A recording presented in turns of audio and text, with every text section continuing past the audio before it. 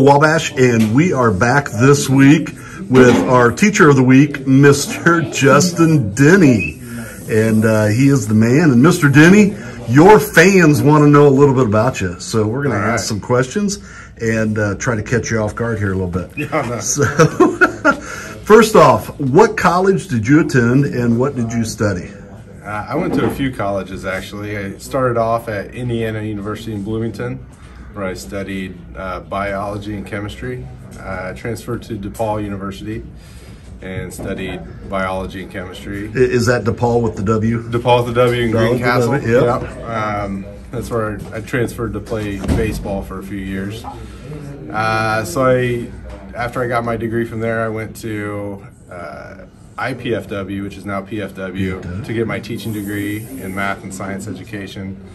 And I got my master's degree from Ball State. So I've been, Gotcha. So you've been the around. state, You've been yeah. around. You're just traveling around Yeah, the oh, state. yeah. I know. If you want to know about small school, big school, anything like that, You're the know. man. I know. I know the difference. You are the man. So, what subjects do you teach here at Wabash? I teach engineering and math. Engineering, math. And what do you what do you like best uh, about this? First off, what's your favorite class to teach, and then what do you like best about about teaching that class at Wabash? Uh, I think probably my second level engineering class, which is Principles of Engineering, is my favorite because we really dig into the hands-on stuff.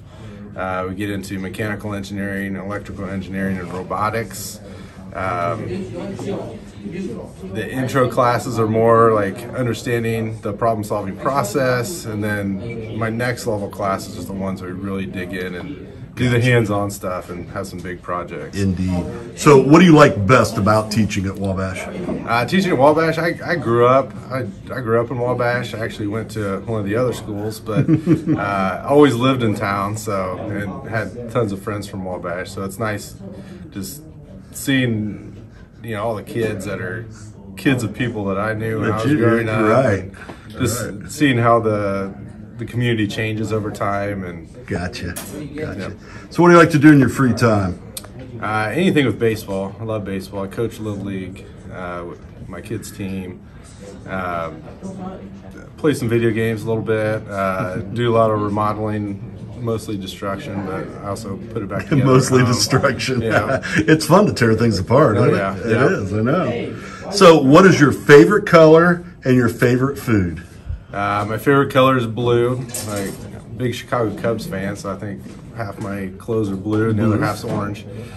Uh, and what was the other question? And, and favorite food. Everybody wants to know what your favorite food is. Favorite food is probably kind of a tradition in our family. Every Sunday we have grilled cheese and tomato soup, which is kind of a Oh. weird favorite food, but No, hey. that goes back to my college days. Like every Sunday, grilled cheese and tomato soup. That's because that's all you could afford in college. yeah, that's probably true. right. yeah.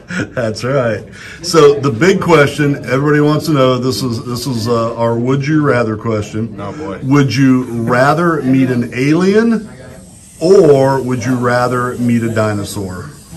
Uh, definitely an alien, just because I have no idea what it would look like.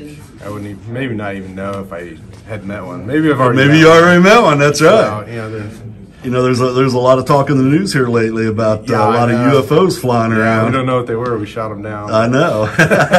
Uh, yeah, so definitely an alien. Dinosaur, I don't think it'd be very friendly. And alien, there's a chance it might be nice. and, and uh, dinosaurs are probably bigger than us, and they're always That's hungry, true. right? Yeah.